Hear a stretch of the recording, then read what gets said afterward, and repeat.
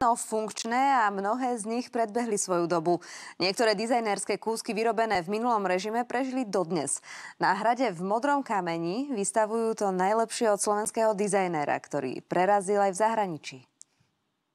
Je vám toto povedomé? Príborom Brusel 58 jedávala takmer každá slovenská domácnosť. Je to príbor, ktorý sa vyrábal nepretržite vyše 50 rokov a dodnes sa používa aj v slovenských domácnostiach. V niektorých nájdeme aj takéto kuchynské linky, kachle, sporáky či rôzne mlinčeky. Či už je to mlinček na meso alebo na mak, na orechy. Ťažká.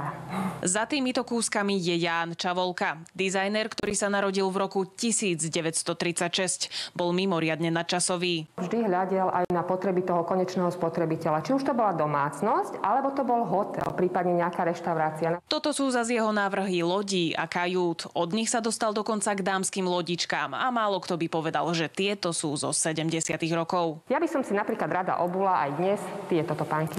Myslel aj na deti a pod jeho prstami vznikla stavebnica Janík či nákladné auto. Pre nás bola cená informácia, že on je autorom prvého prototypu aj pásového traktoru. Od 50. rokov minulého storočia boli tieto hračky hitom neuveriteľných 30 rokov a preslávili Slovensko aj v zahraničí.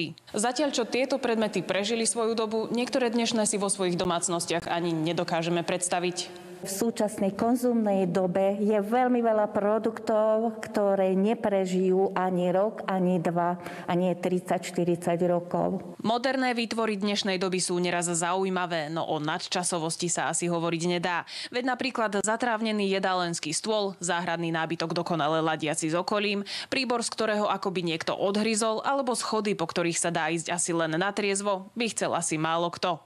Michaela Bendíková, televízia Markíza. Nadovšetko si